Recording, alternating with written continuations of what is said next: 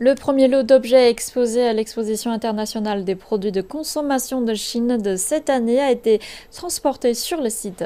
Les objets exposés viennent d'Italie et comprennent des vêtements, des bijoux et des meubles d'une valeur de 149 000 dollars.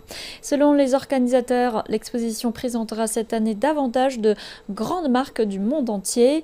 L'Italie, l'Espagne et la Pologne participent pour la première fois à l'événement.